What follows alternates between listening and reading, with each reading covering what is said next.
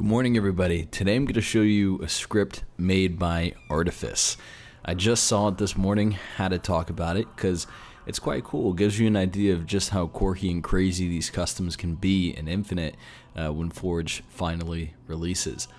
This is kind of like a Silver Surfer type script where you're essentially just surfing, flying through the sky. So uh, I don't know how people will be able to take a script like this and make some weird, weird game modes with it that are super fun. But I saw this, it kind of sparked my imagination. I wanted to show you guys, so hopefully it sparks yours, and uh, that we see cool maps come out of this.